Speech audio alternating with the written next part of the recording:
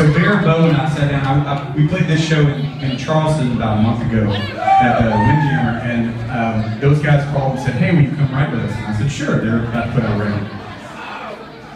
And as we sat there, I didn't know those guys, but I said, "Play me a couple songs," and they played a little bit of this song, and I said, "Oh my gosh, I want that in my life." Um, I think there's a lot of. I spent the last ten years writing songs for women, and. Uh, I'm kind of interested in writing